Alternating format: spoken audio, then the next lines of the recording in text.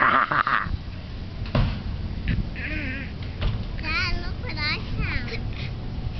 Oh, what did you find?